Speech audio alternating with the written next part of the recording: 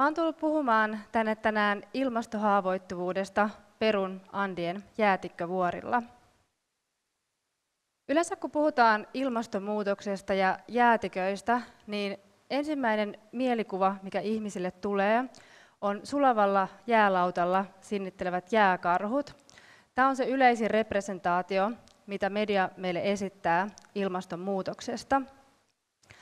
Mutta jäätiköiden sulaminen ilmastonmuutoksen vuoksi ei kuitenkaan rajoitu ainoastaan arktisten alueiden jääpeitteeseen. Maapallolla on tosi suuri määrä jäätikkövuoria, jotka sulaa tällä hetkellä hurjaa vauhtia. Ja nämä jäätikkövuoret ää, toimii ikään kuin vesitorneina, eli tarkoittaa sitä, että ne on pääasiallinen veden lähde paikallisille ihmisille ja yhteiskunnille. Ja sen vuoksi niiden sulaminen tulee vaikuttaa tulevaisuudessa merkittävästi näiden alueiden veden saantiin. Ja yksi tämmöinen jäätikkövuori keskittymä löytyy Etelä-Amerikan Andien vuoristosta. Ää, niiden eteläisen sijainnin vuoksi tuolla päivän tasaajan kupeessa näitä jäätikkövuoria kutsutaan siellä Etelä-Amerikassa trooppisiksi jäätiköiksi. Ja nämä trooppiset jäätiköt on yksi maailman hauraimpia ekosysteemejä ilmastonmuutoksen edessä. Jäätikkötutkijat on arvioinut, että tuossa 1970-luvulta lähtien nämä trooppiset jäätiköt on sulanut noin 30-50 prosenttia, ja sulamisvauhti on ainoastaan kiihtynyt. Mä kiinnostuin itse Andien jäätikkövuorten kohtalosta maisteriopiskelijana noin viisi vuotta sitten.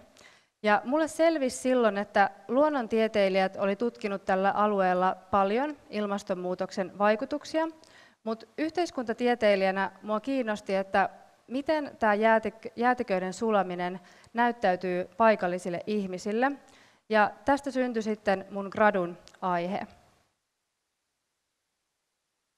Tämä gradun mitta ei kuitenkaan tyydyttänyt mun tiedonjanoa aiheesta. Mä lähdin mun gradussa siitä olettamuksesta, että ilmastonmuutos ja jäätiköiden sulaminen tekee ihmisistä haavoittuvaisia. Mutta nämä mun gradun tulokset ei oikein tukenut tätä olettamusta, ja mä halusin tietää, että minkä takia. Ja tästä aiheesta syventyy nyt mun väitöskirja. Mä julkaisin hiljattain tutkimuksen, jossa mä tarkastelin, että miten ilmastopolitiikka ja erilaiset rakenteelliset tekijät vaikuttaa Perun Andien vuoristokylien pienviljelijöiden ilmastohaavoittuvuuteen. Haavoittuvuus on sellainen termi, jolla on aika monenlaisia merkityksiä, mutta tässä mun tutkimuksessa mä lähestyin tätä käsitettä siitä näkökulmasta, että miten ilmastonmuutos yhdessä erilaisten yhteiskunnallisten tekijöiden kanssa vaikuttaa erityisesti ihmisten elinkeinoihin. Ja tässä mun tutkimuksessa selvisi, että ilmastotoimet näissä Andien vuoristokylissä oli ollut aika heikkoja, ja näillä pienviljelijöillä oli myöskin ollut aika vähän sananvaltaa ilmastopäätöksen teossa, eli heidän näkemyksiään ilmasto, ilmastonmuutoksesta ei oltu otettu huomioon. Toisaalta sitten myös taloudellinen ja yhteiskunnallinen eriarvoisuus vaikuttaa siihen, että miten ilmastonmuutos koetaan. Mun tutkimuksessa selvisi esimerkiksi, että Perussa, jossa viime vuosikymmeninä on painotettu paljon tämmöistä kaupallista tehoviljelyä, niin tällainen maatalouspolitiikka on, vaikuttanut negatiivisesti näiden pienviljelijöiden elinkeinoihin ja ajanut heitä melko ahtaalle. Nämä Andien asukkaat on myös Perussa joutunut historian saatossa alttiiksi rasismille heidän inka alkuperäiskansa juuriensa vuoksi. Ja tästä syrjinnästä ei ole oikein vieläkään päästy eroon. Ja kaikki nämä tekijät on sellaisia, jotka vaikuttaa siihen, että minkälaiset mahdollisuudet näillä andien viljelijöillä on varautua ja sopeutua ilmastonmuutokseen. Eli tässä mun tutkimuksessa selvisi, että ihmisten ilmastohaavoittuvaisuus tai näiden Andien pienviljelijöiden ilmastohaavoittuvaisuus ei johdu ainoastaan mistään yhdestä ympäristöuhkasta, kuten vaikka jäätiköiden sulamisesta, vaan tämä haavoittuvaisuus on yleensä ollut jo olemassa ennen ilmastonmuutosta. Ja ilmastonmuutos ainoastaan ikään kuin riisuu näitä jo olemassa olevia eriarvoisuuksia esille. Ja sen takia, kun suunnitellaan ilmastotoimia, niin ei myöskään riitä, että varaudutaan ainoastaan johonkin tiettyyn ympäristöuhkaan, vaan meidän täytyy myöskin rakentaa sellaisia yhteiskuntia, jotka ei itsessään syvennä ilmastohaavoittuvuutta. Kiitos.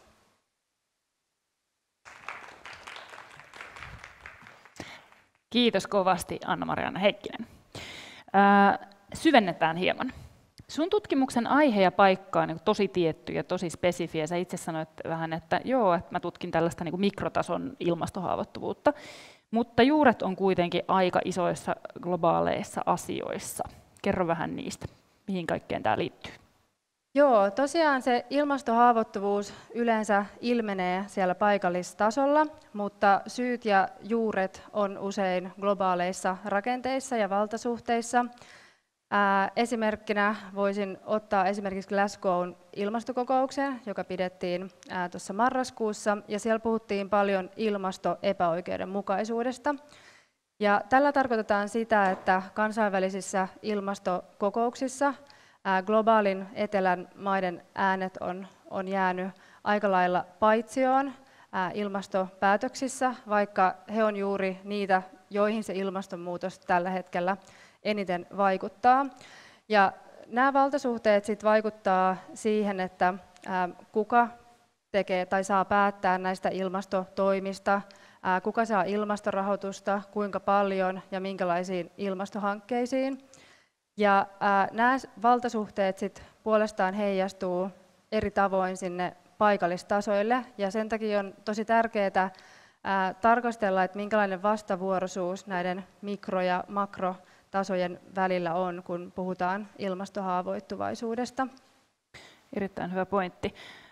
Sä painotit itsekin tuossa, että sä erityisesti keskityt niihin elinkeinoihin, eli millaisia vaikka taloudellisia menetyksiä ilmastonmuutos aiheuttaa. Mutta siihen liittyy ilmeisesti muitakin menetyksiä, muunkinlaisia kuin pelkästään niihin ihan niin tulon menetyksiin. Kerro vähän, että mitä muuta ihmiset tuolla menettää. Ää, joo, täytyy ää, mainita, että ilmastokeskus yleisesti on aika talouspainotteista, mutta tosiaan ää, vähemmän ehkä puhutaan siitä, että minkälaisia muita merkityksiä ilmastonmuutos saa. Ja kun mä olen tehnyt haastatteluja siellä Perun Andeilla, niin ihmiset puhuu myös paljon heidän tunteista, että miltä se tuntuu, kun ilmastonmuutos muovaa sitä tuttua maisemaa ja Ää, ihmiset puhuu esimerkiksi siitä, että se tekee tosi kipeätä, kun ne tutut joet kuivuu ää, tai nääntyy kuivuudesta tai, tai kun ne valkoiset jäätikköhuiput muuttuu elottoman mustiksi. Et sen takia on tosi tärkeää, että, että näitä ilmastokysymyksiä ei ikään kuin yksinkertaisteta ainoastaan talouden yhtälöiksi, vaan että tämmöiset niin kulttuuriset ja symboliset merkityksetkin otetaan vakavasti huomioon ilmastotoimissa. Kerro vähän siitä, että millaista suunnittelua ja varautumista siellä alueella on tällä hetkellä meneillään. Mitä siellä kuitenkin myös varaudutaan ilmastonmuutoksen aiheuttaviin, aiheuttamiin muutoksiin ja asioihin? Näillä Andien asukkailla on aika pitkä ja vahva kokemus ilmastonmuutokseen varautumisesta. Siellä Andien vuoristossa on paljon tämmöisiä mikroilmastoja ja niiden korkeiden vuorten läsnäolo tekee myös sen, että sää voi muuttua tosi nopeasti yhden päivänkin aikana. Ja jo satoja vuosia sitten Inkat kehitti erilaisia viljely- ja kastelutekniikoita, joilla pystyttiin sitten harjoittamaan viljelyä näissä haastavissa olosuhteissa. Ja osa näistä, tai osittain nämä keinot on siellä edelleen käytössä ja tutkimuksissakin on osoitettu, että nämä Andien perinteiset viljelymenetelmät on niissä olosuhteissa tosi hyviä ilmaston muutokseen varautumisessa ja sopeutumisessa. Esimerkiksi vuoroviljely ja terassiviljely, mitä siellä käytetään, niin ne suojaa maata eroosiolta. Mutta tosiaan nyt sitten, kun perussa maatalouspolitiikka painottaa tämmöistä tehoviljelyä, niin monet näistä viljelijöistäkin on sitten luopunut näistä perinteisistä menetelmistä, koska he ovat halunneet myöskin tehostaa sitä, sitä omaa, omaa tuotantoaan, ää, mutta se on sitten, kun mä olen jutellut niiden viljelijöiden kanssa siellä ja haastatellut heitä, niin he on sanonut, että se vaatii tosi paljon enemmän investointeja ravinteisiin ja, ja torjunta-aineisiin ja sitten toisaalta taas kun sään ääriilmiöitä on enemmän, esimerkiksi kuivuutta ja halloja, niin se vaikuttaa satokatoihin, että et heille ei oikein jää kauheasti mitään niistä investoinneista ää, käteen.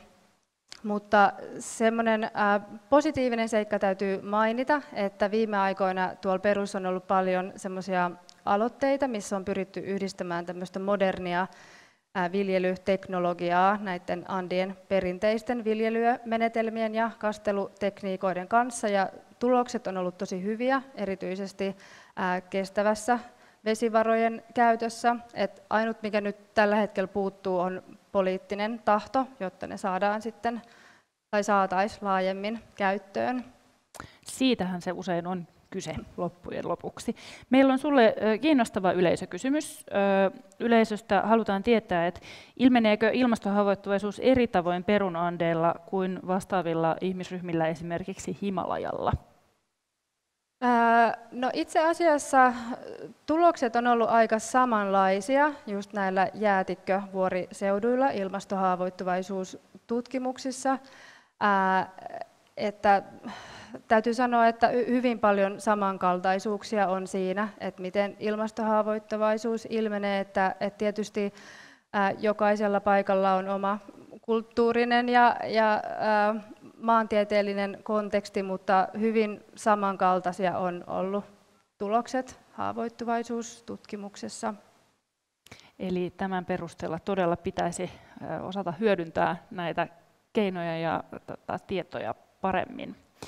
Yhtäläisyyksiä löytyy. Kiitos hurjan paljon Anna-Mariana Heikkinen ja ilmastohaavoittuvaisuuden käsite siellä Perun jäätikkovuorilla. Kiitos paljon. Kiitos paljon.